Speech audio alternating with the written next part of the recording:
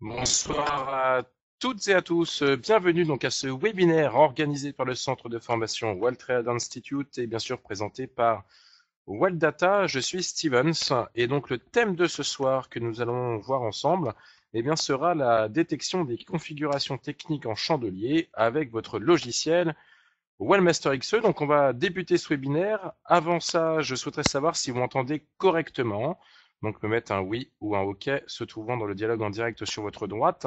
Si jamais vous voyez que le son, il y a une résonance ou ça assure ou chose comme ça, et eh bien surtout ce qu'il faudrait faire au mieux, c'est d'éteindre tout logiciel passant internet, donc s'il y a des logiciels de téléchargement ou même le logiciel qui sont en train de tourner derrière, ou encore des pages web utilisant même la bande passante internet comme BFM TV, euh, je sais pas, France 3, euh, les, les, choses comme ça.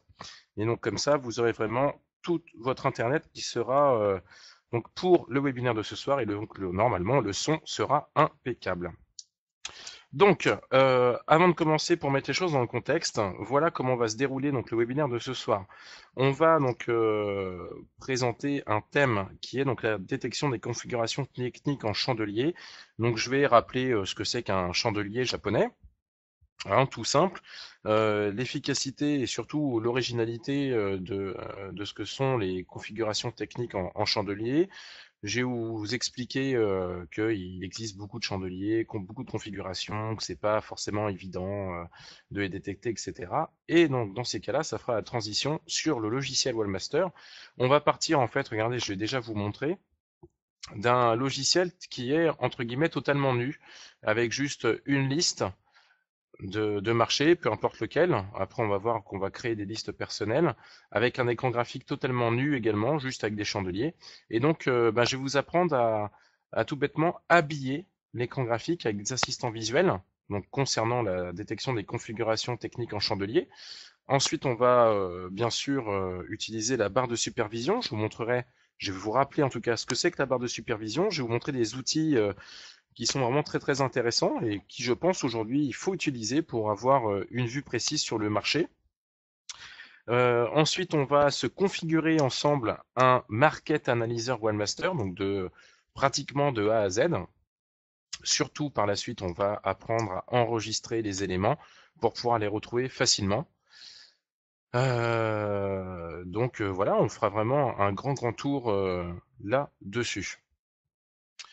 Donc, on va pouvoir débuter maintenant. Alors, il faut savoir une chose, c'est que vous pouvez bien sûr poser vos questions euh, dans le dialogue en direct se trouvant donc euh, sur votre droite. Hein. J'y répondrai euh, volontiers. Alors, je ferai peut-être un petit peu des, des cassures. Autrement, il y a certainement mes collègues aussi qui pourront répondre aussi dans le chat directement. Et autrement, vous pouvez interagir directement avec votre clic gauche de la souris. Par exemple, si je vous demande s'il vous plaît de cliquer sur le panneau place de la bourse en haut à gauche, donc vous faites un clic gauche dessus et vous allez voir donc votre fléchette avec euh, votre nom, votre pseudo qui apparaîtra automatiquement. Donc tout au long du webinaire, je vais essayer de vous faire participer comme ça pour rendre le webinaire un petit peu plus dynamique. Euh, alors c'est pas des questions non plus euh, de, de fou furieux, mais c'est simplement aussi ça va me servir à voir si vous voyez la même chose que moi. Pour moi, c'est très très important, puisque comme ça, je vois que vous n'êtes pas perdu et que vous voyez ce que je suis en train de lire ou en train de voir directement donc dans le logiciel, entre autres. Bah écoutez, on va pouvoir démarrer. Alors, je vais me mettre dans le logiciel OneMaster. Je vais l'agrandir pour avoir un maximum de place, comme ceci. Voilà. Alors, tout d'abord, euh, qui sommes-nous? Nous, sommes éditeurs de logiciels depuis maintenant plus de 25 ans, depuis 86 euh, exactement. Notre euh, force de frappe et notre métier, bien entendu, c'est l'édition de logiciels d'aide à la décision en bourse. Donc euh, depuis 86, bien sûr, on a sorti pas mal de logiciels et le dernier en date est la gamme des logiciels OneMaster XE que voilà, que vous avez devant vous. Euh, qui va surtout vous aider à trouver donc les opportunités sur le marché, quels qu'ils soient. Ça peut être les actions, euh, futures, forex, donc tout ce qui est devises, euh, SICAV, FCP, VARAN, bref, toutes les valeurs euh, possibles et inimaginables. La force d'un logiciel comme celui-ci, lorsque vous avez entre les mains, c'est que à l'intérieur, en fait, eh bien, vous avez trois choses. La première chose, donc vous avez ce qu'on appelle des AT helpers. Les AT helpers qui se trouvent dans l'onglet démarrer en haut à gauche, Et juste ici, en fait, ce sont des outils d'aide à la décision. Donc d'ailleurs, ce soir, je vous en présente un qui est la détection des configurations techniques en chandelier. Ces espaces de travail sont pré-paramétrés et euh, après, vous pouvez les peaufiner à souhait. Mais au moins, ça vous donne une base de travail.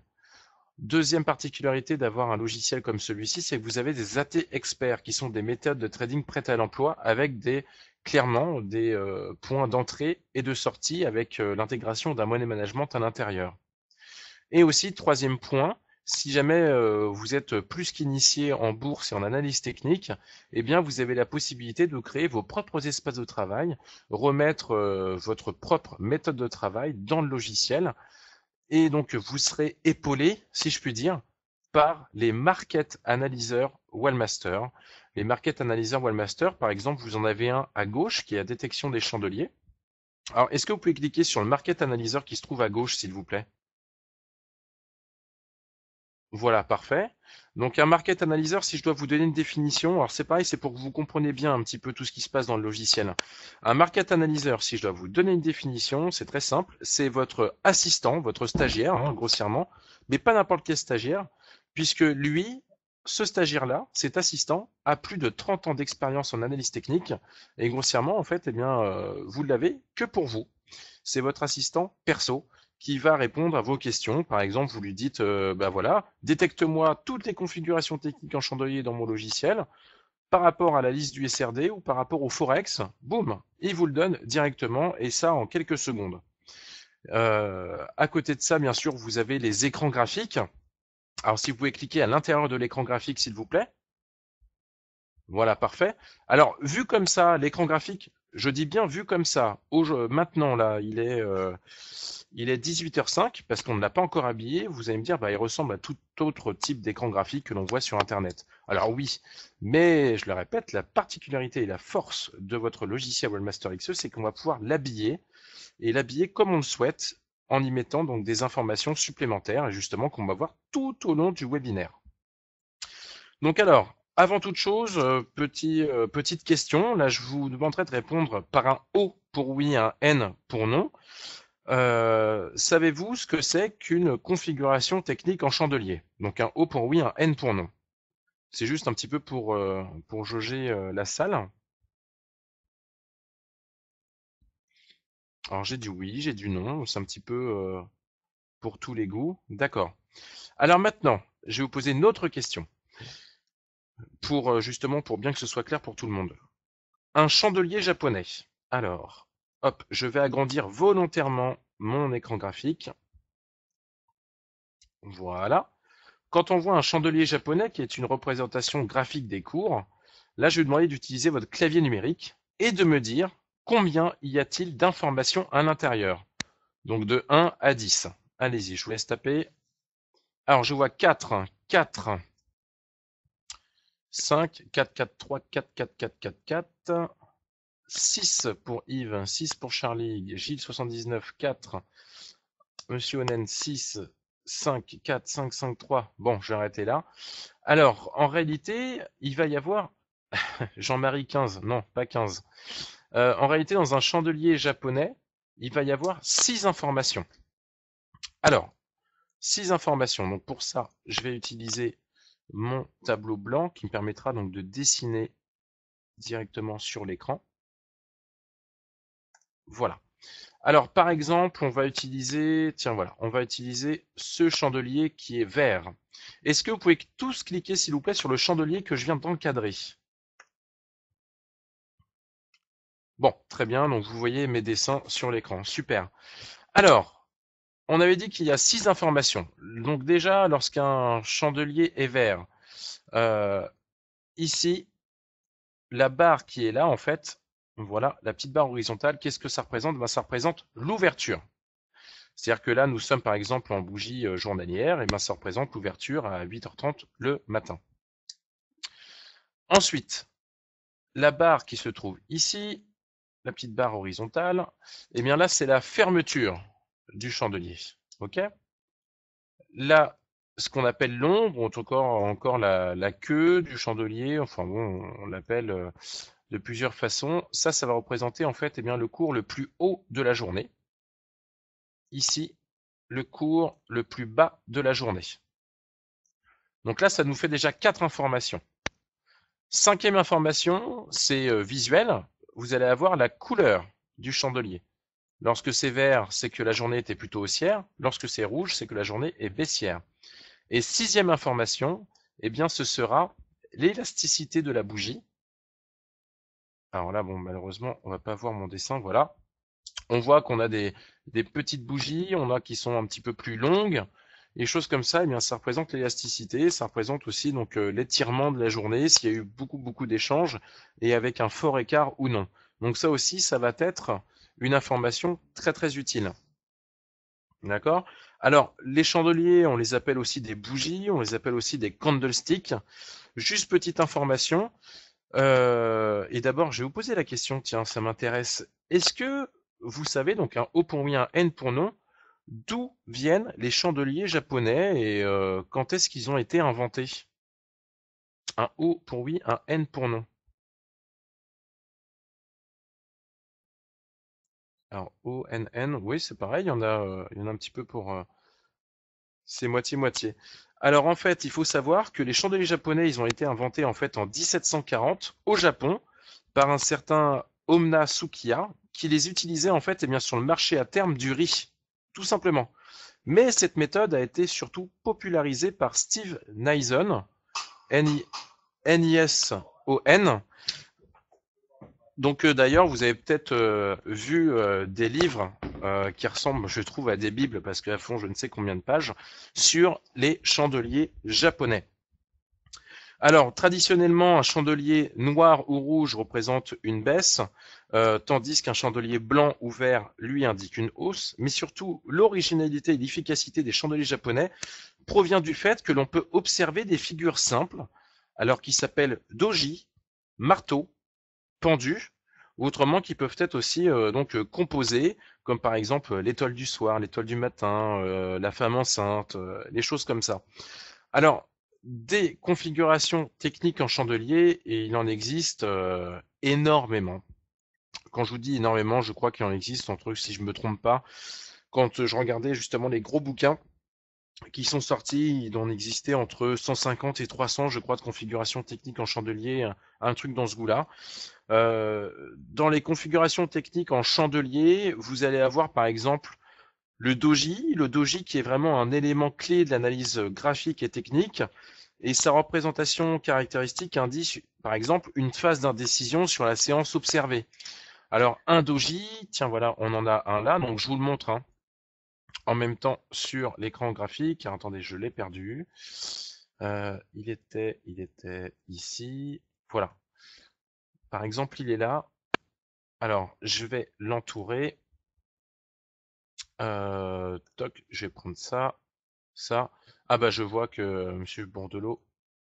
Voilà, vous voyez, le doji là. Alors est-ce que vous pouvez cliquer à l'intérieur du cercle rouge que je viens de dessiner sur l'écran graphique, s'il vous plaît? Voilà, donc vous voyez par exemple, ça c'est un doji. D'accord Alors vous avez aussi après d'autres types de configurations techniques en chandelier, comme par exemple le marteau et le pendu, qui eux vont indiquer euh, une figure de retournement et extrêmement puissante lorsqu'elle apparaît dans un creux, par exemple. Autrement, vous avez aussi les avalements euh, haussiers baissiers, qui eux sont plutôt des configurations de retournement de tendance. Ou encore l'étoile du soir, qui est une configuration composée de trois chandeliers qui indiquent un retournement baissier. Ou inversement, l'étoile du matin qui indique une tendance baissière. En tout cas, il en existe énormément, énormément. Alors moi, le but euh, ce soir, euh, ce n'est pas de vous faire un cours en analyse technique et en vous expliquant toutes les configurations techniques en chandelier, mais surtout pour vous montrer qu'il existe dans le logiciel Webmaster XE eh bien, des euh, outils qui permettent de les détecter rapidement et avec aussi un petit côté pédagogique. Alors pour le moment, on va commencer, on va travailler sur l'écran graphique euh, que l'on a devant nous. Donc on est d'accord, on cherche à détecter des configurations techniques en chandelier. Comme je vous l'ai dit, il en existe beaucoup. Euh, très souvent, j'ai eu affaire à de grands traders qui utilisent des chandeliers depuis des années et des années. Et en fait, eux, à l'œil déjà, eh bien, ils vont en détecter, allez, à peu près une dizaine maximum qu'ils connaissent sur le bout des doigts. Après tout le reste, eh bien, il y en a qui se réfèrent vraiment aux bouquins, euh, etc. Bien moi, je vais vous proposer d'utiliser ce qu'on appelle un assistant visuel. Un assistant visuel qui va vous permettre eh bien, de détecter sur l'écran graphique automatiquement des configurations techniques en chandelier. Alors, petite question, comment faites-vous pour afficher un assistant visuel sur votre écran graphique? Utilisez votre clic gauche, s'il vous plaît, pour montrer où se trouve l'option. Voilà, c'est impeccable. Donc en fait, ça se trouve bien, j'attends que les fléchettes disparaissent pour le coup.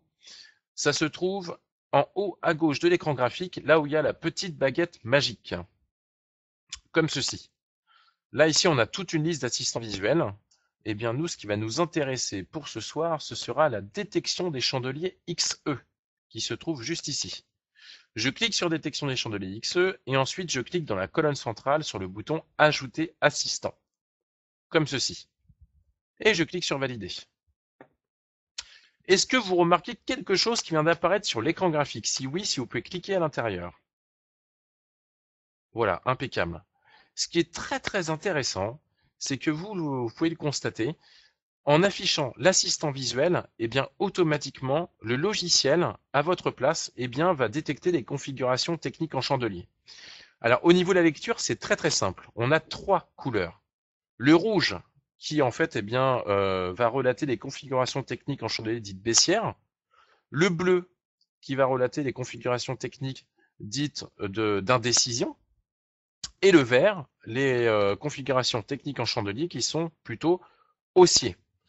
Alors, autre information aussi, et qui n'est pas des moindres, je, trouve en tout cas, c'est-à-dire c'est le côté pédagogique aussi qu'il y a dans le logiciel Webmaster XE euh, qui plaît énormément à nos utilisateurs. C'est-à-dire que là, par exemple, on voit euh, tout plein de petits euh, graphiques. Alors, il faut savoir déjà, à chaque fois, vous avez l'illustration de la configuration, mais surtout, en mettant la souris sur un des icônes, par exemple, euh, tiens, je vais prendre cette icône-là, eh bien, il vous donne le nom de la configuration technique. Par exemple, ici, c'est un Morubozu, ou autrement, on peut l'appeler Marabutsu, comme vous le souhaitez. C'est une configuration de continuation haussière. Alors, on vous donne l'utilité, le marabouzu et le marabouzou euh, sont de grands chandeliers sans ombre. Classiquement, on dit qu'ils montrent la force d'une tendance, mais en fait, ils peuvent être interprétés différemment selon le contexte dans lequel ils apparaissent. Je prends une autre type de configuration. Tiens, je vais prendre celle-ci par exemple. Là, c'est un avalement haussier. C'est une configuration de retournement à la hausse cette figure indique un risque de retournement majeur dans une tendance baissière, mais ce qui est très intéressant, c'est ce qui suit. C'est qu'on vous donne aussi la validation. Si lors de la séance suivante le cours est à la hausse, le renversement de tendance est confirmé. Si lors de la séance suivante le cours est à la baisse, le renversement peut être invalidé et la figure n'a plus forcément lieu. Vous voyez, donc on vous donne tout ce genre d'informations qui au fur et à mesure en fait, eh bien, de les utiliser, vous rentrez automatiquement euh, dans votre esprit et euh, au fur et à mesure de l'utilisation, vous n'aurez même plus besoin de mettre la souris sur les illustrations puisque euh, tout de suite, eh bien, vous verrez comment il faut les interpréter en fait. Donc à chaque fois, vous avez l'illustration qui est détectée sur le chandelier en question avec le petit schéma et bien sûr, vous avez l'explication associée. Autre chose aussi, est-ce que vous connaissez, euh, est-ce que vous savez ce que c'est qu'un gap, G-A-P Un O pour oui, un N pour non. Alors, O, O, O, O, O, oui, oui, oui, O, O, O. Alors, je vois non. Alors, par exemple, ici, sur l'écran graphique, est-ce que vous pouvez cliquer sur un gap, pour ceux qui savent ce que c'est? Alors, hop, je regarde en même temps. Oui, voilà, parfait. Alors, pour ceux qui ne savent pas encore ce que c'est, vous allez voir en fait un gap, c'est tout simple. Je vais agrandir volontairement toujours mon écran graphique. Voilà. Je vais prendre mon outil ligne, comme ceci. Je vais mettre par exemple en grosse ligne.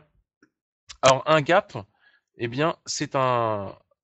Voilà, ici par exemple, jusqu'ici, vous voyez, eh bien, vous avez un fort... Euh, un fort trou qui est détecté entre la séance précédente et la séance euh, qui suit, eh bien ça c'est un gap. Les gaps aussi, alors après moi je suis pas là pour faire le débat des écoles en disant le gap, il y en a qui vont me dire ah le gap ça sert à rien, qui vont me dire le gap est toujours comblé, pendant que l'autre dira mais forcément qui est toujours comblé puisque ça monte et ça descend. Moi je rentre pas dans ce débat là. D'accord? Euh, je, vous dis, je vous dis juste que le gap, en tout cas académiquement parlant, euh, ça peut être aussi un, une forte, euh, dans l'analyse graphique, l'analyse technique, ça peut être vraiment un point crucial pour une tendance baissière, une tendance haussière qui peut également servir aussi de support résistance. D'accord? Alors, je vais vous donner pareil un autre élément qui permet visuellement, encore une fois, tout ce qui est visuel, c'est très rapide, et bien de détecter les gaps sur votre écran graphique sur n'importe quel type de période. Euh, comment faire? Eh bien, encore une fois, c'est un assistant visuel. En cliquant sur la baguette magique en haut à gauche de l'écran graphique, vous avez détection des gaps juste en bas. Est-ce que vous pouvez cliquer sur le détection des gaps, s'il vous plaît? Juste pour voir si vous voyez la même chose que moi. Voilà, parfait. Euh, pour l'activer, il me suffit de cliquer sur Ajouter l'assistant. Comme ça, il apparaît bien à droite. Et je clique sur Valider. Est-ce que vous remarquez quelque chose qui vient d'apparaître, s'il vous plaît, sur l'écran graphique? Voilà, parfait. Donc on voit ici, voilà, c'est impeccable. On voit en fait eh bien qu'on a des petits G qui apparaissent. Donc un G rouge pour dire que c'est un gap baissier, un G vert pour dire que c'est un gap haussier tout bêtement. Alors petite particularité technique, vous pouvez si vous le souhaitez modifier euh, le type d'illustration en allant utiliser l'APMI. L'APMI qui est l'ajustement des paramètres multipériodes intelligents. En fait, eh bien c'est le bouton AP qui se trouve en haut à gauche de la zone graphique. Je clique dessus. Et vous voyez ici, vous avez l'affichage mode de la détection des gaps, elle est sur 0, ça veut dire qu'il affiche des G tout bêtement sur euh, les chandeliers en question. Si je me mets en mode 1, comme ceci, est-ce que vous voyez quelque chose qui a été modifié? Si vous pouvez cliquer dessus, s'il vous plaît. Voilà, donc en fait, eh bien, il va rajouter une petite bulle colorée, donc euh, très très fine. Mais je trouve que visuellement, ce mode est vraiment intéressant, puisque là, il, colore en fait eh bien, les, chandeliers, là où il y a eu les, gaps haussiers ou baissiers. L'affichage mode 2, là on le voit un petit peu moins. Euh, en fait, il montre une petite fléchette ou rouge ou verte. Donc euh, c'est très très fin. Voilà, donc sur les chandeliers en question. L'affichage de mode hop 3, euh, lui qu'est-ce qu'il va faire en plus hein, Attendez. Ah oui, alors l'affichage de mode 3, alors là c'est pareil, on va peut-être pas forcément le voir, mais en fait, eh bien, il va encadrer d'une couleur spécifique le chandelier où il y a eu un gap. Donc, je pense pas qu'avec le webinaire, vous le voyez très très bien, ça vous le verrez plus à la maison. L'affichage de mode 4, lui, va carrément barrer, en fait, il va faire une petite croix sur le chandelier en question avec la couleur concernée. Et l'affichage de mode 5, là, il va juste, là c'est pareil, on ne le voit pas très très bien, euh, malheureusement, pour le webinaire, mais en fait, là, il va colorier en fait eh l'encadrement euh, du chandelier en vert ou en rouge. Moi perso, hein, ça reste que personnel, mais j'aime beaucoup c'est l'affichage de mode 1. On a les petites bulles comme ça qui colorent le chandelier, c'est vraiment parfait. Alors, petite info. Il se peut que cet assistant visuel, vous ne l'ayez pas à la maison, puisqu'en réalité, il n'est pas installé par défaut dans votre logiciel. Donc, comment faire pour l'avoir? Eh bien, c'est très très simple il suffit d'aller le chercher dans l'ATX Store. Je vais vous montrer le chemin, parce que pour moi, je pense que c'est vraiment indispensable que vous connaissiez le chemin.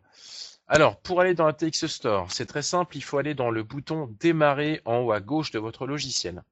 Est-ce que vous voyez toutes et tous, s'il vous plaît, le bouton Démarrer, si vous pouvez cliquer dessus? Impec, merci. Je clique dessus. Ensuite, on va dans Page de démarrage. Donc, en fait, on clique sur la petite maisonnette euh, juste sous le bouton Démarrer.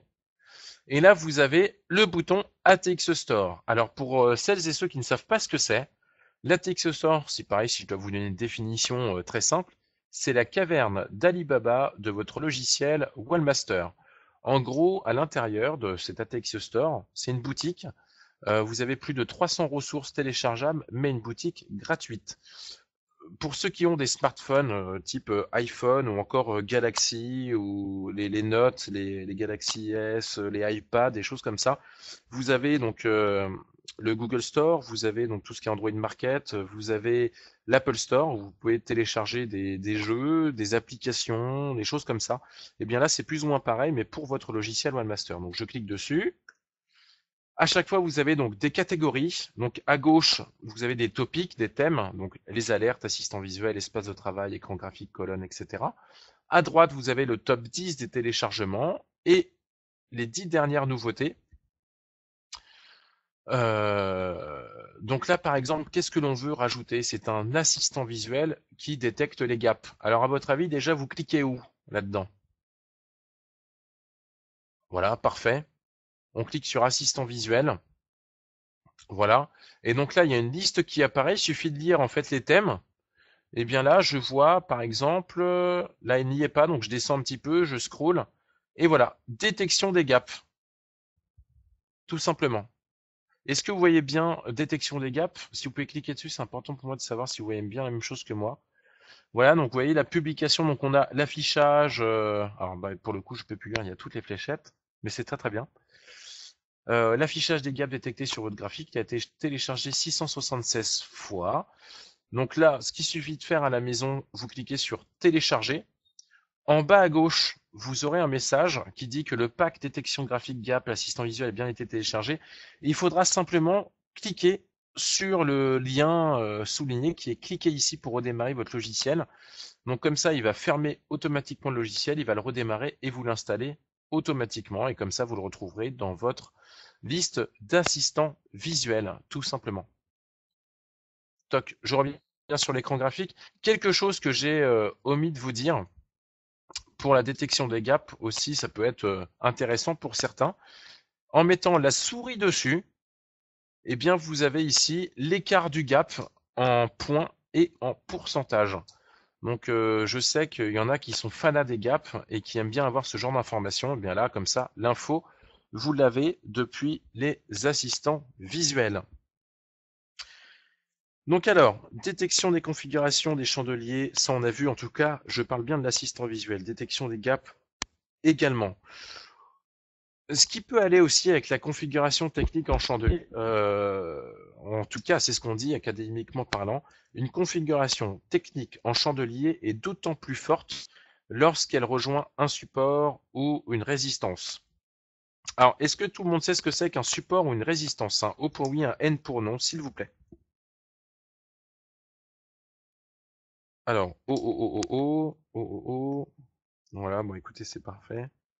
Voilà, donc ça peut être des, euh, supports résistance obliques ou horizontales. Euh, maintenant, autre question. Et là, je demanderais, c'est pas un concours de, d'accord. Euh, je demanderais d'être vraiment d'être Est-ce que vous savez toutes et tous les tracés Je parle des supports résistance horizontales. Est-ce que à chaque fois vos supports sont top ou quelquefois ça capote un petit peu? Donc un O pour oui, un N pour non. Donc là c'est mitigé pareil. D'accord, très bien. Alors moi je vais vous proposer d'utiliser un outil aussi qui est euh, vraiment euh, très utilisé en tout cas par les utilisateurs que j'ai au support et j'en suis euh, ravi. Moi-même j'utilise d'ailleurs.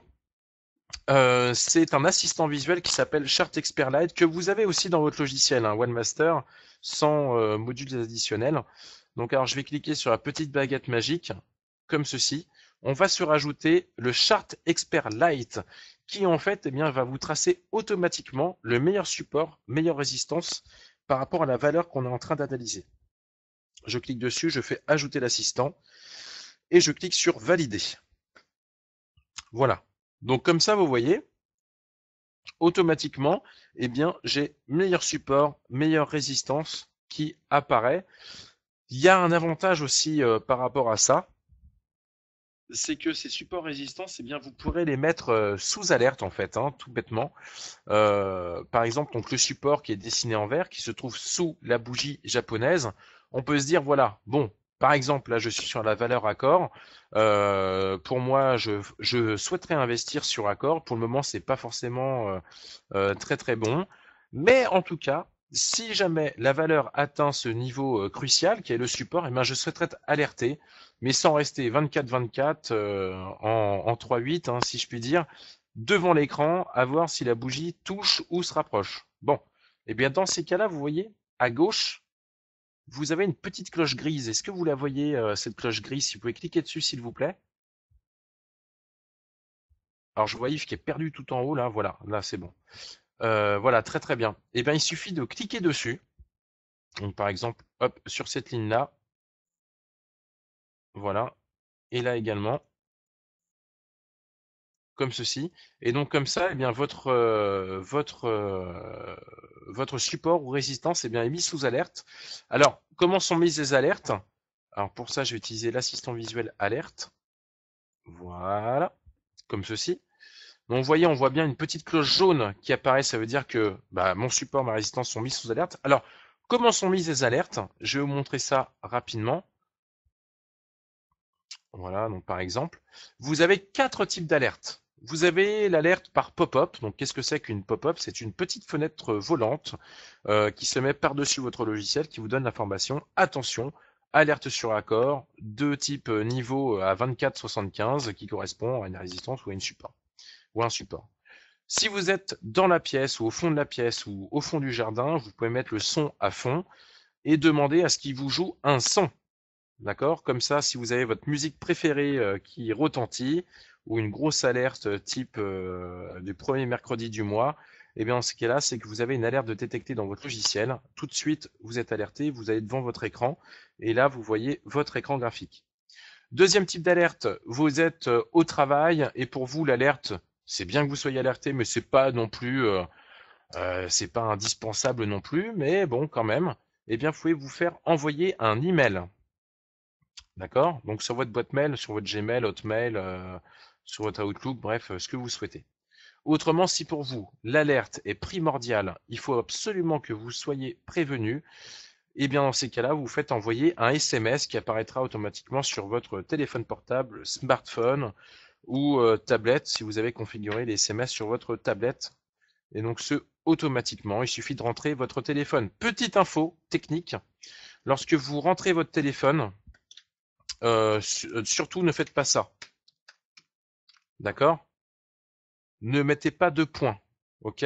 Il faut vraiment que ce soit tout d'une traite sans espace, sinon ça ne marchera pas.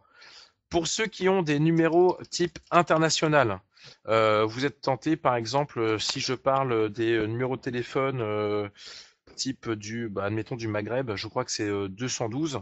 Ne faites pas ça. Plus 212 et après le numéro de téléphone qui suit. Non. Le plus 212, il ne prendra pas. Il faudra mettre 00 212. D'accord? Pareil pour ceux qui sont en Belgique et en Suisse, mettez 00 à la place du plus. Sinon, ça ne fonctionnera pas. Ok? Voilà. Donc là, hop, comme ceci. Donc, si on récapitule, sur l'écran graphique en tout cas, on a réussi à se monter dessus trois types d'informations. Détection des configurations en chandelier, détection des gaps et aussi support résistance. On commence à avoir vraiment une méthode euh, euh, qui commence à être euh, vraiment pas mal avec cette détection-là. Ensuite, nous, ce qui nous intéresse surtout, et je pense que vous serez d'accord avec moi, c'est qu'on puisse être alerter visuellement, ou en tout cas qu'on donne l'information sur le marché qu'on est en train de traiter, eh bien, le moment où on a la détection du, de la configuration en chandelier. Euh, par exemple, il faudrait que je tombe sur une valeur en question. Vous voyez, c'est pas évident. Hein. C'est-à-dire que là, il faut que je clique valeur par valeur pour regarder. Ah, tiens, voilà. Là, par exemple, j'avais un Marubutsu ici, d'une continuation haussière. Mais je pense que vous serez d'accord avec moi ce n'est pas humain de regarder valeur par valeur. Vous voyez, je suis en train de le faire en même temps pour voir si j'ai une configuration technique en chandelier qui apparaît. Vous voyez que c'est là, on va perdre énormément de temps. Mais ne vous inquiétez pas, c'est justement ce qui me sert de transition en même temps sur les market analyseurs. Les market analyseurs, je vous l'ai dit, c'est vraiment votre assistant de trading dernière génération ultra puissant qui va vous détecter ce que vous souhaitez. Nous, on cherche la détection de configuration technique en chandelier. Donc là, bon, en principe, il y a les roulements de tambourin, il y a les majorettes qui arrivent. Mais là, en webinaire, vous ne les voyez pas. Je grandis comme ceci mon market analyzer. Et donc là, dans mon market analyzer Wellmaster qui s'appelle détection des chandeliers XE. Alors que vous retrouverez vous à la maison en cliquant sur le bouton outils puis market analyzer. Vous l'avez dans la liste dans AT Helper et vous l'avez là, détection des configurations des chandeliers XE. Eh bien, automatiquement, vous avez, donc en faisant un simple clic gauche de la souris, est-ce que vous voyez toutes et tous, par exemple, la colonne détection des chandeliers, OneMaster XE Si vous pouvez cliquer dedans, s'il vous plaît. Voilà, parfait. Eh bien, vous voyez là où vous avez mis votre fléchette. Et eh bien, en cliquant dessus, eh bien, vous avez donc le double tri. C'est-à-dire qu'un côté nous met donc en tête de liste les configurations baissières, d'un autre côté les configurations haussières. D'accord? En faisant un clic gauche comme ceci. Tac, tac. OK? Donc là, vous voyez, là, par exemple, je suis sur le marché du SRD. Je clique sur Bureau Veritas. Et là, tout de suite, j'ai un, euh, un super marteau qui est juste là, avec la détection du gap, juste ici. Alors, vous voyez, vous avez vraiment la double info. Pour euh, Biomérieux, vous avez donc les trois méthodes ascendantes, donc qui correspondent à une bougie blanche avec euh, trois bougies noires puis une bougie blanche. Voilà, donc vous l'avez juste ici. Ici, pareil. Tiens, Valeo, là, je vais avoir un doji. Pareil pour Zodiac, etc. Et là, pour Orpea, Pendu, Morel Prom, Arami Bessier, CIC, Morobozu. Donc là, pareil, dans les, euh, market analyzers, il suffit de mettre la souris dessus. Vous avez l'utilité ainsi que sa validation. Donc là, pareil, très très utile. D'accord? Alors, on dit, en tout cas, euh, pareil, le côté académique. Hein, euh, moi, je suis pas là pour vous faire un cours raté, mais juste pour vous rappeler en fait les, fondamentaux euh, de l'analyse technique. On dit qu'en analyse technique, il est quand même préférable de travailler sur trois unités de temps différentes. Unité de temps dite mineure, une majeure et une principale. Ok? On dit que l'unité de temps principale, eh bien, c'est l'unité de temps que vous allez utiliser visuellement sur votre écran graphique pour passer vos ordres de bourse, pour faire vos euh, entrées et sorties en bourse, donc depuis votre broker ou votre PEA, selon ce que vous avez à la maison. Bon. L'unité de temps mineur, lui, va plutôt servir à regarder justement ce qui s'est passé dans la journée. S'il y a eu euh, un fort retournement baissier ou haussier, ou si les acheteurs ont pris la main sur les vendeurs et vice versa. Et enfin, l'unité de temps, donc dit majeure, lui va vous permettre eh bien, de prendre du recul sur la valeur, de regarder un petit peu son histoire pour voir s'il y a des points cruciaux, souvent dessinés par des supports à résistance, d'accord, au niveau de l'historique. Bon. Là, on peut se dire, bah ouais, ok, mais euh, c'est vrai que ce qui serait chouette, l'idéal, c'est de pouvoir regarder, toujours pareil dans la configuration technique en chandelier, savoir si mon unité de temps mineur, principal et majeur, si euh, tout le monde va dans le même sens, il y a une configuration technique en chandelier qui peuvent se ressembler. Et donc comme ça, eh bien, je vais pouvoir essayer de détecter des opportunités à la hausse ou à la baisse, tout bêtement. Alors, moi, pour le webinaire de ce soir, eh bien, on va faire ça en, combien En deux étapes. Je vais vous montrer tout d'abord la barre de supervision. Et ensuite, surtout, hein, euh, je vais vous montrer comment utiliser cela mais surtout dans votre Market Analyzer OneMaster. Alors, premièrement, la barre de supervision. Alors, euh, je souhaiterais savoir déjà, euh, juste comme ça, hein, euh, si vous l'utilisez, donc un O pour oui, un N pour non. Donc cette barre de supervision, si vous l'utilisez, un O pour oui, un N pour non. Alors je vois OO, NN, NNO, NN. Bon, c'est pareil, c'est 50-50. Oh, un petit peu plus quand même de 30-70 pour les noms. Hein. D'accord. Alors, la barre de supervision, déjà, comment faire pour la faire apparaître? Bah, C'est très simple. Vous, à la maison, vous cliquerez dans l'onglet Outils, puis vous avez barre de supervision. Donc, vous pouvez l'avoir à l'horizontale ou, à la verticale. Vous pouvez la mettre en haut ou en bas, ou à gauche ou à droite ou encore en flottante, si par exemple vous avez un double écran, un triple écran, je parle physique, hein, donc euh, deux, deux ou trois ou quatre ou cinq ou six ou huit ou plus écrans, et eh bien si c'est flottant, vous pouvez le mettre comme ça, vous pouvez basculer sur n'importe quel type d'écran physique euh, sur votre bureau. Moi pour, euh, pour ce soir, je vais le mettre tout en haut, comme ceci. Voilà. La barre de supervision, vous l'avez, en fait, c'est le bandeau qui se trouve blanc tout en haut. Si vous pouvez cliquer dedans, s'il vous plaît. Voilà. Donc ça, c'est la barre de supervision. Alors la barre est blanche là par défaut parce que je l'ai vidée juste avant le webinaire. Alors c'est blanc, c'est pas parce qu'on en manque d'inspiration, c'est simplement qu'on n'a pas rajouté ce qu'on appelle de graphes analyseurs. Des graphes analyseurs qui pourraient s'apparenter éventuellement, euh, si on parle d'actualité au niveau de Windows 8, aux tuiles. Aux tuiles de Windows 8, voilà. Les graphes analyseurs, ce sont les tuiles de votre logiciel. Donc, pour rajouter un graph analyzer Wallmaster, c'est très simple, il suffit de cliquer sur la baguette magique qui se trouve tout à gauche de la barre de supervision. Si vous pouvez cliquer dessus, s'il vous plaît. Tout à gauche, tout à gauche. Voilà, parfait. C'est là où se trouvent toutes les fléchettes. Vous l'aurez compris, je vous en remercie. Donc je vais cliquer dessus, comme ceci. Là, ici, vous avez toute une liste de graph analyzer Wallmaster.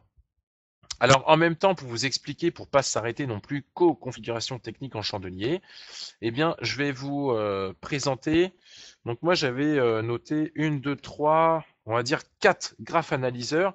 Je pense qu'il faut utiliser quotidiennement, en tout cas chaque fois que vous analysez euh, vos valeurs sur les marchés que vous traitez. Donc je vais commencer par le World Market. Le World Market qui est ici. J'ajoute le graph analyseur. Ensuite, je vais vous présenter les statistiques économiques. Donc, j'ajoute le graph analyseur. Vous voyez, je les ajoute au fur et à mesure. Ensuite, en cliquant sur valider, vous allez voir qu'ils vont apparaître tout en haut. Ensuite, je voulais vous montrer le palmarès des marchés. Je trouve qu'il est vraiment top, celui-ci. Euh, j'avais aussi un que j'affectionne particulièrement, c'est les notes sur la valeur. Voilà. Le graphique des cours, mais surtout, pour finir, ce sera la détection des chandeliers et là, je vais me faire plaisir, je vais en rajouter 3. Et là, je clique sur valider. Vous voyez, donc j'ai fait mes courses, hein, grossièrement. J'en ai rajouté 8. Je clique sur valider. Et voilà ce qui vient de se passer. Euh, est-ce que vous pouvez cliquer sur l'un des graphes analyseurs qui apparaît, s'il vous plaît, juste pour voir si vous voyez la même chose que moi. Parfait. Alors, Là, vous allez me dire, oh là là, qu'est-ce qu'il m'a fait euh, il m'en a rajouté toute une tonne. Mais c'est fait exprès en même temps pour vous montrer qu'il y a aussi plusieurs types de graphes analyseurs. En réalité, il existe deux familles de graphes analyseurs. Il y a les graphes analyseurs qui sont jaunes. Est-ce que vous pouvez cliquer sur l'un d'eux, s'il vous plaît? Parfait. Donc, ils sont jaunes. En fait, eh bien, lorsqu'ils sont jaunes, c'est qu'ils vont s'attaquer à une information dite globale sur tout un ensemble de marchés. D'accord? Et vous avez aussi la famille des graphes analyseurs qui sont bleus, cette fois-ci, si vous pouvez cliquer sur l'un d'entre eux. Voilà. En fait, eh bien là, ces graphes analyseurs-là vont euh, vraiment s'attacher à l'analyse de la valeur qu'on est en train d'étudier. Par exemple, si je clique sur, euh, admettons, Orpea, eh bien, ceux qui sont bleus vont s'attacher à la valeur Orpea. D'accord? Alors, on va commencer par le World Market. Celui-ci, euh, pour moi, je trouve qu'il est vraiment indispensable à l'utilisation quotidienne, que ce que vous soyez vraiment trader dans la journée, investisseur moyen ou long terme. Pourquoi?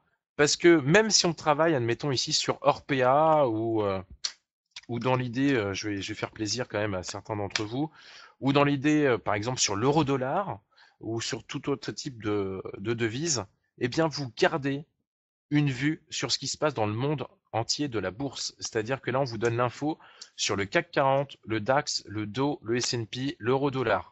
D'accord? Euh, Si par exemple je suis sur Morel et Prom, dans l'idée, hein, j'hyperbolise bien entendu, je suis sur Morel et Prom, et là je suis tout content, je suis en train d'acheter des, euh, papiers donc sur Morel et Prom. Et là, qu'est-ce que je vois en temps réel? En haut à gauche dans mon World Market, je vois le CAC qui est baissier, le DAX qui devient baissier, le DO qui est baissier, le S&P qui est baissier, l'euro dollar qui est baissier. Tout se trouve au rouge et moi je suis le seul acheteur sur la place je me dis qu'il y a peut-être forcément un petit souci, c'est que je suis pas forcément dans le bon sens. Et euh, dans ces cas-là, bah, je vais peut-être revoir un petit peu mon achat. Et donc, je vais peut-être justement travailler la valeur à la baisse, en tout cas l'étudier pour la baisse. D'accord? Vous gardez une vue vraiment sur le monde entier, en tout cas sur les forts indices internationaux. Autre type euh, de graphe analyseur qui est les StatEco. Celui-ci aussi est très très intéressant. Donc là, pour, le coup, il faut que je trouve une valeur où j'ai des stats échos. Euh, non, je vais pas en avoir là. Mais en tout cas, lorsqu'il y a, par exemple, vous êtes en train de travailler sur euh, ADP, admettons, si jamais il y a une statistique économique euh, sur ADP ou sur une valeur représentée par ce secteur-là d'activité, eh bien, vous aurez la stat écho qui vous sera donnée automatiquement avec, bien sûr, bien sûr donc l'information et avec l'heure à laquelle la statistique économique eh bien, sera donnée. Ensuite, à côté, vous avez le palmarès du marché. Eh bien, pour le palmarès du marché, en cliquant sur la petite clé à molette et le marteau, vous avez le choix de dire voilà, bah, donne-moi les cinq meilleures hausses, les cinq entre guillemets euh, les valeurs qui sont les plus mauvaises du marché que l'on souhaite. Par exemple, je vais prendre le CAC 40. Je veux les cinq valeurs les plus haussières du CAC 40. Je clique dessus et là il va me dire voilà les cinq, on va dire les, meilleurs élèves du CAC. J'ai le Capgemini, Publicis, Finibuy, EDF, Accor, voilà, qui ont une variation positive par rapport à la veille. Ensuite, dernière note sur la valeur. Donc là, qui va plutôt s'attacher à la valeur qu'on est en train d'étudier. Donc là, c'est un outil, je pense, que vous pourrez aussi utiliser à la maison, qui, euh, je trouve, est très très intéressant. Pourquoi? Euh, vous qui faites de la bourse, en tout cas qui vous y intéressez, je suppose que vous devez être abonné à plusieurs types de newsletters, de sociétés différentes, de sociétés de cotation différentes. Et donc il y a des formations, il y a à boire et à manger, mais il y a des, il y a des informations qui peuvent être aussi très très intéressantes qu'il faut garder. Alors, où on est organisé, où on ne l'est pas. Si on ne l'est pas, ça peut être plutôt embêtant. Si on cherche, on se dit, voilà, là je travaille sur ADP, je me dis, ah, dis donc, mince, il y a quelques jours de cela, j'ai eu une super info, sur ADP, mais pour la retrouver dans ma boîte mail ou dans mes courriers ou autres, c'est un peu la galère. Et eh bien dans ces cas-là, ce que vous pouvez faire, eh bien c'est utiliser la dernière note sur la valeur. C'est-à-dire que je clique tout bêtement sur le plus, je lui donne, alors moi je vais tricher hein, pour que je vais vous montrer pourquoi. Je vais mettre par exemple une note euh, pour le 29. Voilà. Euh, donc par exemple, euh, je sais pas, je vais mettre gap haussier plus conseil de, de mon broker plutôt optimiste optimiste à la hausse. Dans l'idée, hein, j'écris n'importe quoi. Autrement, vous, ce que vous pourrez faire, eh ben, c'est faire un copier puis coller de tout le texte que vous avez dans votre boîte mail ou chose comme ça. Il suffit ensuite de cliquer sur OK. Et ce qui est intéressant, je suis en train de travailler sur le grand, je me dis tiens ADP, eh bien automatiquement on vous dit attention, il y a une note de fait sur la valeur ADP qui date du lundi 29 avril à 18h44. Gap haussier plus conseil de mon broker, plutôt optimiste à la hausse. D'accord? Autre information aussi, sur l'écran graphique, vous avez la possibilité d'associer un assistant visuel. Je trouve vraiment formidable. Donc je clique sur la petite baguette magique et en fait ça vous l'avez aussi par défaut dans votre logiciel. Hein. Euh, c'est note sur la valeur. Il est là. Je clique dessus, je fais ajouter l'assistant et je clique sur valider. Est-ce que vous voyez quelque chose qui vient d'apparaître sur l'écran graphique de particulier? Si vous pouvez cliquer dessus s'il vous plaît. Voilà, parfait. En fait, eh bien, ça peut également remplacer tous les post-it et je pense que ça va ravir euh, madame ou monsieur qui n'est pas forcément dans le même euh, monde que vous, qui est celui de la bourse. Plutôt que d'avoir des post-it partout sur le bureau ou sur le frigo ou sur la télé, eh bien, comme ça, vous aurez des post-it vraiment sur la valeur que vous analysez et en mettant la souris juste dessus, eh bien, vous avez l'information qui apparaît. D'accord? Comme ça, vous vraiment, vous ne perdez pas l'info. Ça, c'est très intéressant. Autre type de graphe analyseur, c'est les graphiques des cours. Alors, euh, quel serait l'avantage? Eh bien, l'avantage, si par exemple, je vois en tout cas si vous êtes, euh, si vous avez un abonnement euh, service optimum Well Data en temps réel ou un intraday différé de 15 minutes, eh bien, rien ne vous empêche de demander par exemple de l'heure tout en haut. C'est-à-dire que je travaille par exemple sur le grand et j'ai quand même une vue sur ce qui se passe sur le graphique des cours, mais en intraday, dans la journée.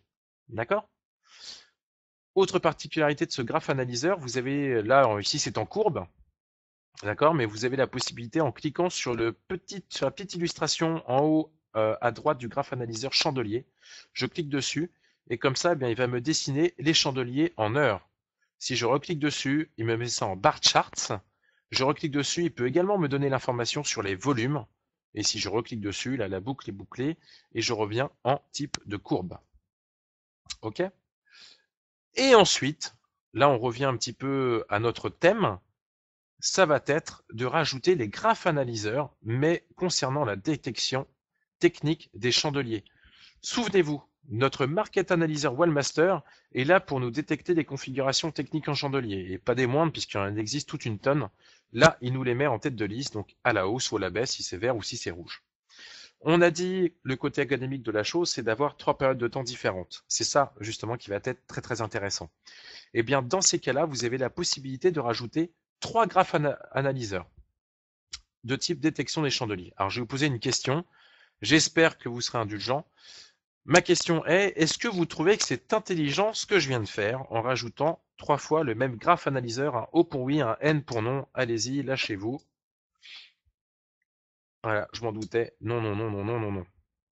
Effectivement, pourquoi ce n'est pas très intelligent, même si euh, l'effort est louable? C'est-à-dire que là, on a trois graphes analyseurs, d'accord, sur la valeur que je suis en train d'étudier, mais l'unité de temps est la même, donc on a trois fois la même info. C'est vrai que c'est pas terrible. Donc, comme le dit un de vos collègues ici, je vois même plusieurs de vos collègues, donc AJC, Monsieur Humbert et un, autre qui est remonté dans, la liste, pardon, je n'ai pas vu. Eh bien, effectivement, on va pouvoir modifier la période de temps. Sachez que la barre de supervision est multipériode, c'est-à-dire que là, mon premier graphe analyseur qui est en jour sur une année, eh bien, je clique dessus et je peux lui dire travaille-moi cela en unité de temps mineure. Je clique sur unité de temps mineure comme ceci. Le deuxième, je peux le mettre en unité de temps principale, et le troisième en unité de temps majeure, comme ceci. Ce qui est très intéressant, si, par exemple, eh bien, je travaille sur euh, Colas, ici, je vois qu'en journalier dans mon Market Analyzer, j'ai un Marabouzou qui me représente en fait une configuration technique chandelier plutôt haussière. Mais qu'est-ce que je remarque?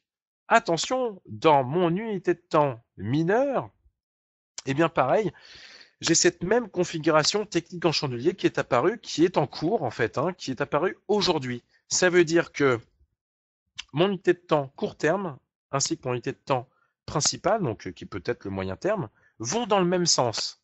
Et là, c'est très intéressant puisqu'en réalité, eh bien, vous avez deux périodes de temps qui sont différentes, mais qui vous disent ah, attention, configuration technique en chandelier plutôt haussier. D'accord? Donc ça peut éventuellement confirmer votre tendance haussière. Bien sûr, euh, académiquement parlant, hein, c'est dans tous les bouquins, hein, ça je, je pense qu'on sera tous d'accord avec ça. Il ne suffit pas d'avoir deux chandeliers qui vont dans le même sens pour acheter une valeur. Il faut quand même une analyse personnelle, une analyse autre graphique comme les supports résistance et choses comme ça. D'accord? Maintenant, je vais vous donner une information technique euh, à savoir l'utilisation des écrans graphiques. Je m'explique. On voit ici, vous voyez, on a bien bossé quand même, on a bien travaillé sur notre écran graphique. On a rajouté quand même 1, 2, 3, 4, 5, enfin 4, pardon, 4 assistants visuels.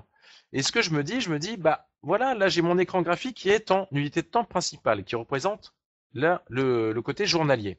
C'est-à-dire que un chandelier est égal à une journée de cotation boursière. Et je me dis, bah, j'aimerais avoir le même écran mais plutôt en unité de temps mineure, en heures, pour pouvoir valider ce que me dit mon graphe analyseur.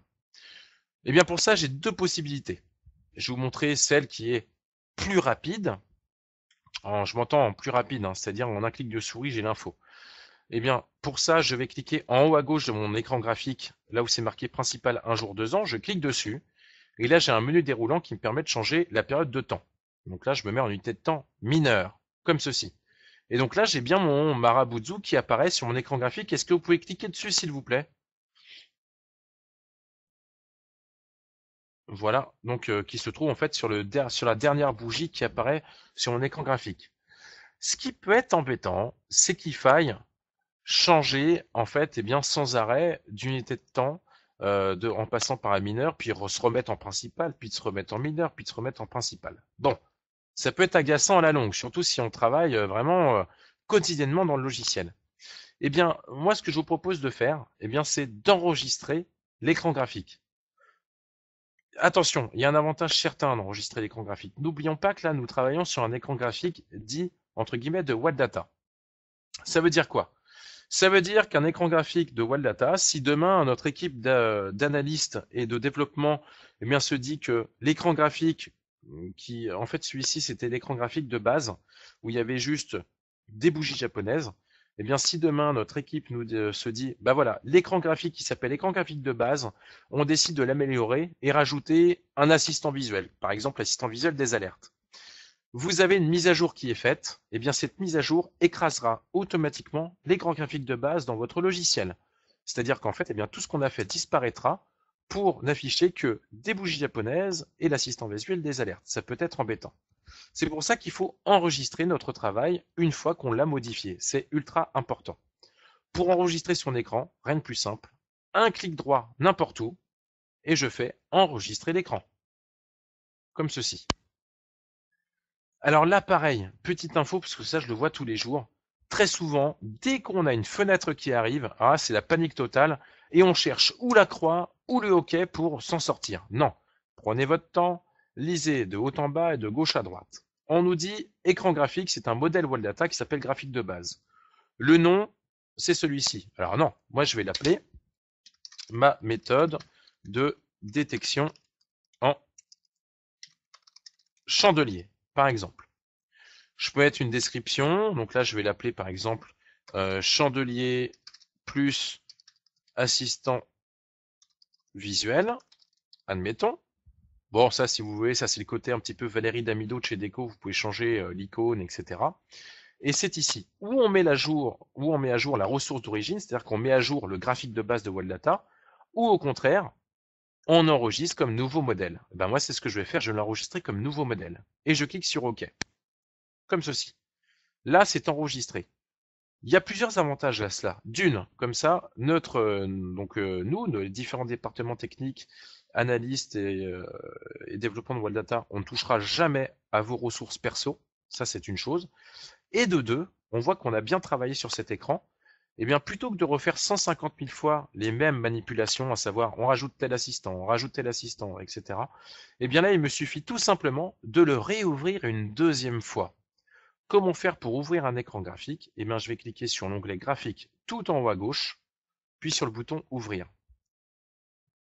Comme ça, eh bien, je retrouve. Euh, alors, où est-ce qu'il se trouve? Euh, Comment je l'ai appelé déjà? Non, j'ai oublié. Euh, il va se trouver là. Voilà. Ma méthode de détection en chandelier. Je clique dessus, je fais ouvrir, et comme ça, on se retrouve dans la même configuration.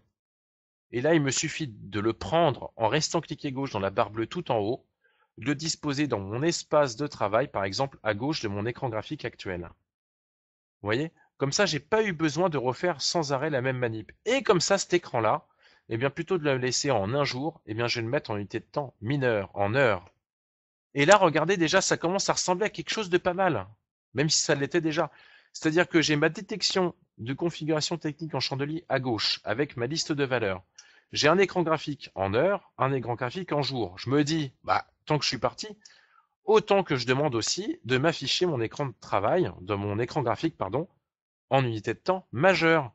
Donc pour ça, bah pareil, j'ouvre le même écran graphique.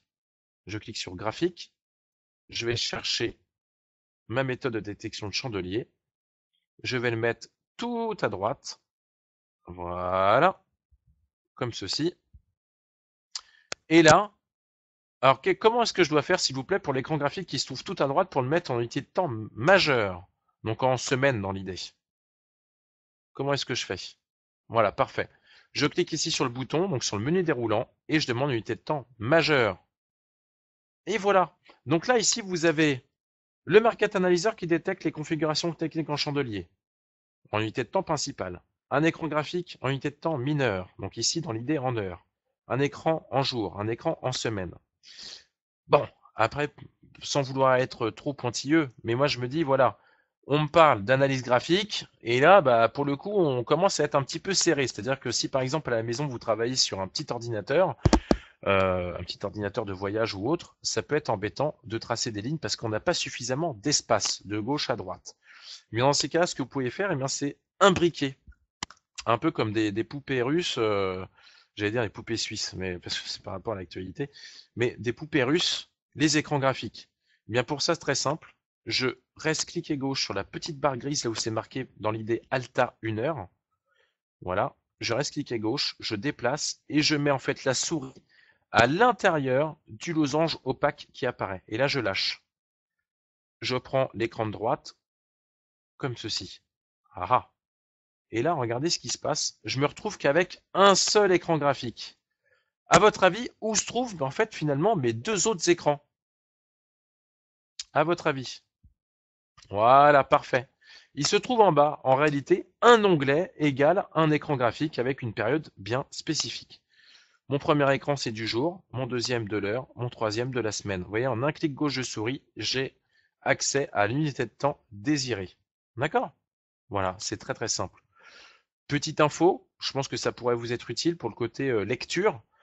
Si jamais ça vous gêne d'avoir, par exemple, on cherche les configurations techniques en chandelier à la hausse, donc on va lire en fait tout en haut, et on se dit, bon, bah, par rapport à l'œil, il faut que je descende tout en bas pour cliquer gauche dans mon onglet. Eh bien, ce qu'on peut faire pour être encore un petit peu plus rapide, c'est de mettre mes onglets en haut. Je fais un clic droit sur n'importe quel onglet et je clique sur haut. Toc. Comme ça, je retrouve tout en haut. Autre chose aussi, un clic droit, vous pouvez, si vous le souhaitez, les renommer, l'appeler par exemple court terme, moyen terme, long terme. Après, ça, c'est vraiment vous qui décidez. Alors, autre information, et après, je regarde l'heure. Ah bah voilà, ça y est, c'est fait, on va dépasser. Bon, bah, je vais essayer de me dépêcher, peut-être que vous avez des choses à faire. Euh, autre chose, en parlant des market analyseurs, eh bien, c'est quelque chose qui, je pense, vous sera d'une grande utilité. Pour aller encore plus vite, c'est-à-dire plutôt que d'aller chercher en cliquant sur Bureau Veritas et de se dire est-ce que j'ai une config en heure, une config en semaine qui apparaît par les graphes analyseurs, eh bien rien ne vous empêche de rajouter, encore une fois, les colonnes correspondant à la détection des configurations techniques en chandelier dans le Market Analyzer, une en unité de temps mineure, une en principe, une en principale et une en plutôt majeure.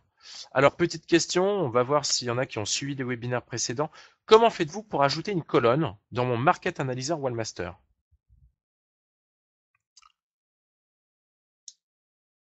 Ah bah, alors ça, se disperse. Hein.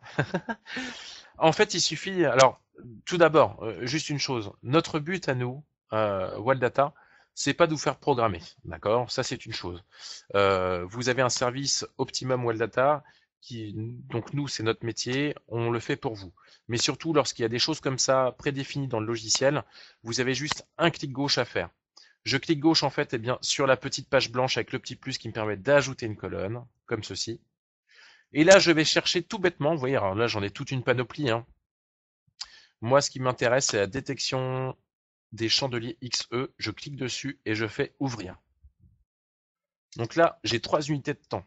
Donc là, j'en ai rajouté une, deux, il m'en restera une dernière. Je clique gauche et je rajoute une troisième fois ma détection des configurations en chandelier.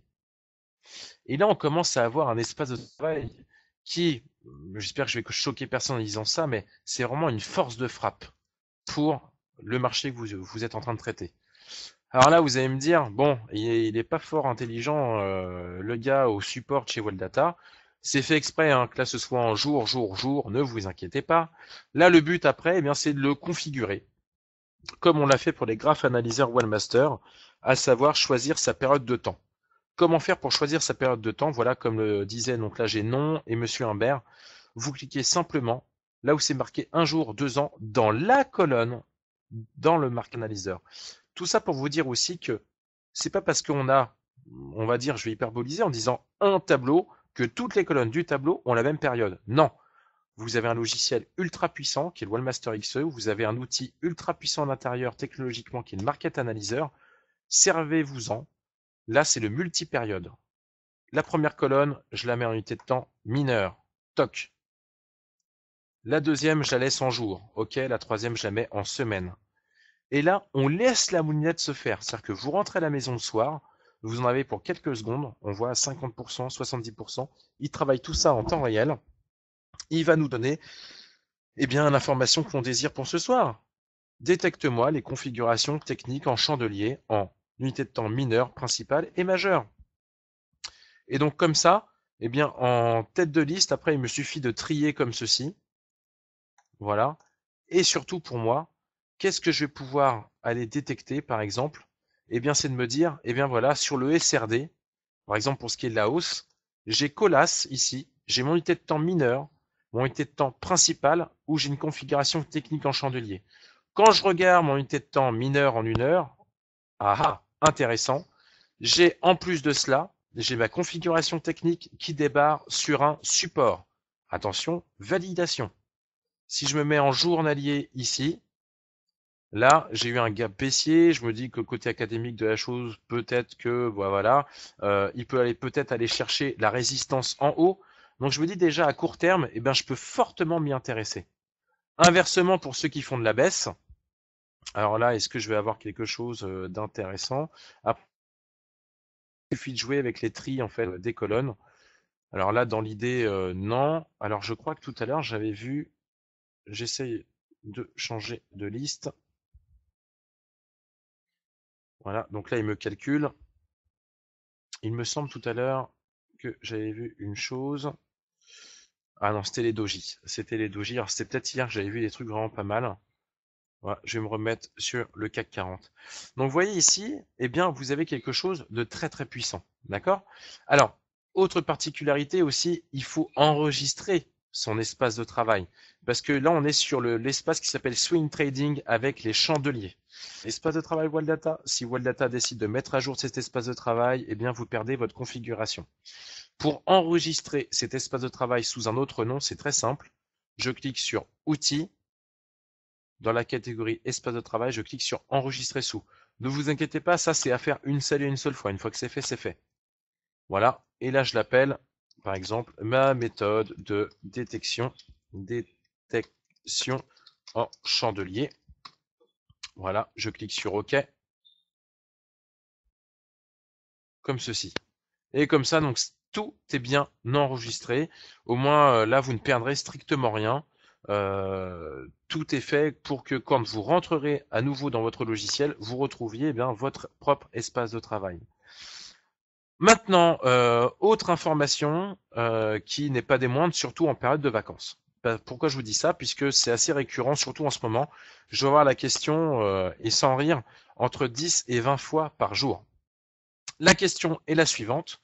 Bah voilà, là je suis chez moi, je pars en vacances demain, je pars pour trois semaines. Ce que je souhaite, eh bien, c'est avoir la même configuration que ce que j'ai à la maison, mais dans mon PC qui se trouve à la campagne.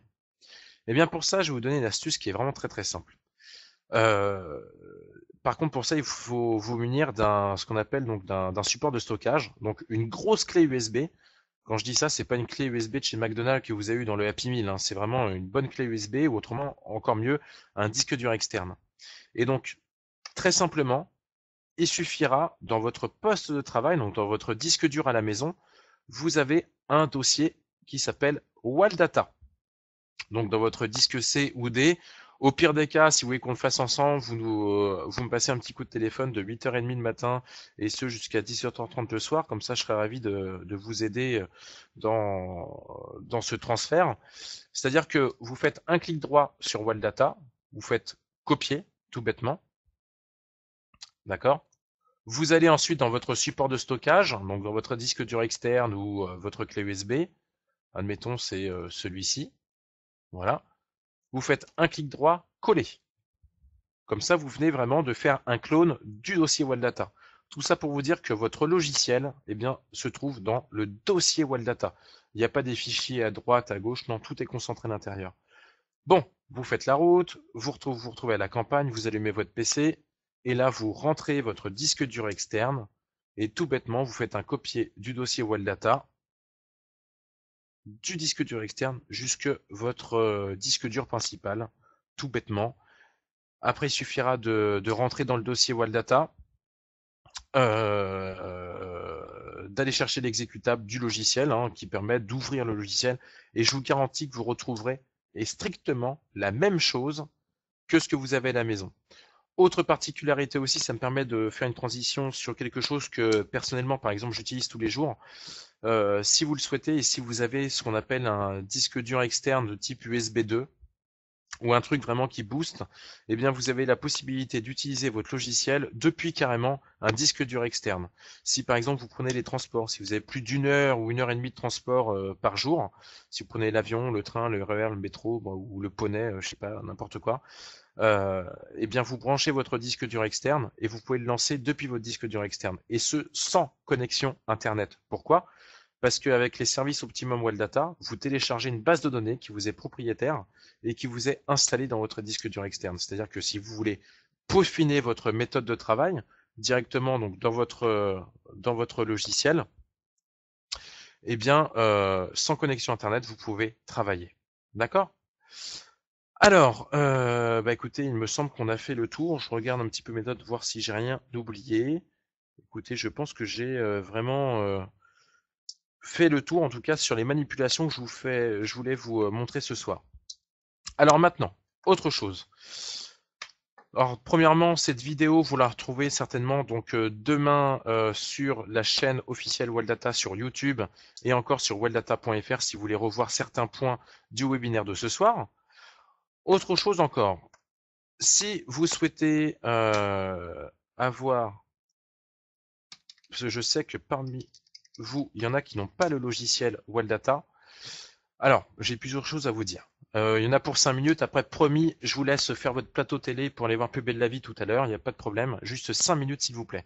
Pour ceux qui souhaitent acquérir le logiciel, avec en plus une offre spécifique, euh, avec une méthode prête à l'emploi type ATLPer, là dans offre, il y avait une offre jusqu'au 30 avril, mais qui est maintenue jusque ce soir 20h. Je vous garantis que là, c'est euh, un, une très belle offre. Vous avez le logiciel haut de gamme, plus la méthode Market Phase Indicator. Pour ça, on fera certainement un webinaire plus tard sur cette méthode-là, qui est une méthode vraiment euh, très très très pertinente, performante également. D'accord? Euh, Vous l'avez à 249 euros x 3, soit 749 au lieu presque de 1500 euros. Donc je vous mets le lien pour ceux qui n'ont pas le logiciel. Comme ceci. Autre chose, si vous souhaitez aussi euh, venir à une conférence toute une matinée avec trois méthodes de trading qui vous sont expliquées, et eh bien là, vous avez le Salon des marchés financiers qui est son premier opus euh, cette année, le 23 et 24 mai au CNIT La Défense. Moi, je vous invite à venir. Pourquoi? Puisque en fait, eh bien, seulement pour 49 euros, alors hop, je reviens ici, vous euh, êtes avec nous de 9h à 13h et vous avez donc trois stratégie avec application instantanée, des cas d'école, des, euh, des analyses sur les six mois à venir, sur certaines valeurs, donc que ce soit Euronext, euh, devises, etc. 49 euros, vous avez trois heures de formation avec, euh, donc là je lis, hein, la méthode Market Phase Indicateur, donc qui est en fait la méthode AT Expert qui est dans le package avec le logiciel par notre analyste Ilya Goncharov. Vous avez la méthode des divergences pro avec Gérard Sagnier et la méthode Investor Funds avec Olivier Guyon. Il reste 28 places. Donc là, pareil, je vous mets la page d'inscription dans le chat en direct. Donc là, ça se passera le jeudi matin au CNIT à la Défense. Pour y aller, c'est vraiment très simple. Hein. Et enfin, troisième type d'information, si vous souhaitez avoir une journée de formation avec comme hôte, si je puis dire, ben, moi-même, eh bien là, au calendrier, on fait un atelier de manipulation. C'est le 30 mai. Donc vous êtes avec moi toute la journée. Par contre, vous serez que neuf. Pourquoi pas plus? Bah, Tout simplement parce qu'après, ça devient vraiment euh, euh, trop compliqué. Il y a trop trop de monde. C'est pas assez intimiste pour moi. Euh, lors de cette journée, bon pareil, je vais vous mettre le lien. On va voir tous les points qui sont décrits ici dans les programmes. grossièrement, je vous apprends à manipuler. Voilà, c'est-à-dire que vous repartez le soir de cette formation, vous savez les grandes lignes du logiciel. Quand je dis les grandes lignes, c'est que vous êtes à l'aise dans le logiciel et vous savez concevoir votre propre méthode de travail. Donc c'est de 9h30 jusqu'à 17h30. Et donc là, on voit le logiciel de A à Z et je parle que de manipulation avec une méthode à la fin d'aide à la décision sur le WTI. Donc vraiment, je je pense que c'est intéressant puisque j'ai certaines personnes qui nous envoient des mails à la fin qui nous disent voilà merci grâce à vous j'ai réussi à construire ma méthode. Je m'en sors maintenant dans le logiciel c'est beaucoup plus clair. Donc surtout n'hésitez pas venez à cette formation c'est le 30 mai. Donc ou vous vous inscrivez directement sur le lien que je vous viens de vous envoyer ou autrement vous nous appelez je vous remets le numéro. Voilà comme ceci Jusque ce soir, 20h, on est là pour répondre à vos questions concernant cette formation, ou même si vous souhaitez acquérir le logiciel, si vous ne l'avez pas. Euh, donc écoutez, je pense qu'on a fait le tour. Sachez une dernière chose aussi, tant que vous êtes là. Vous voyez, en fait, au mois de mai, on a mis des webinaires qui ont le même titre. Donc là, je vais le répéter à chaque webinaire. Euh, donc à chaque web, découvrez des nouveaux outils avec Webmaster XE, c'est-à-dire que une journée ou deux jours avant, eh bien, on décide du thème euh, que l'on va mettre en place, que l'on va étudier ensemble pendant ce webinaire-là. Donc à chaque fois, eh bien, on vous enverra un petit mailing. On espère que bien sûr vous allez vous inscrire. Pourquoi? Parce que ça traite vraiment de l'ergonomie du logiciel, comme on l'a vu là. Euh, on va parler d'outils à utiliser au quotidien, comme la barre de supervision, les assistants visuels, et avec des thèmes bien spécifiques. En tout cas, j'espère que ce webinaire vous a plu. On vous remercie vivement de votre fidélité, de votre présence ce soir. Excusez-moi encore une fois encore du dépassement d'horaire qu'il y a eu, là, les 19h15. Je vous souhaite en tout cas une bonne soirée, de bons trains, une bonne fin de semaine. Et donc à bientôt pour un prochain webinaire à votre logiciel Wallmaster XE. À bientôt, bonne soirée, merci, au revoir.